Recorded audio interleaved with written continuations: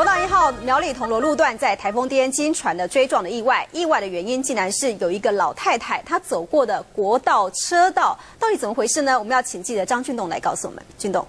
要带你来看一个相当诡异的画面，就发生在昨天。昨天是台风天，但在国道一号北上的一百三十八公里处，这里呢有一名妇人身穿灰色上衣、黑色长裤，那么就在这个国道车道上，直接从镜头你看到了，从右边走到了左边，从中间车道走到了内侧车道。结果呢，他这样子横行国道的状况，造成了两台车辆追撞。我们来看一下当时的画面。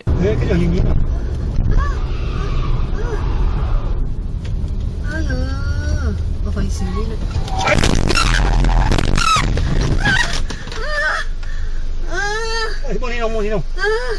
车上的乘客呢吓到了，因为后方的小货车呢追撞上来，整个过程是相当莫名的。那么这名老妇人呢，从这个国道的车道上，从中间走到了内侧之后呢，当时发生了这个追撞的意外。老太太呢是一个小碎步，赶快往这个中央分隔岛跑过去之后，随即她已经不见人影了。这两台肇事的驾驶，他们都在找，到底谁会这么奇怪，在台风天，而且又在国道的车道上直接步行穿越车道。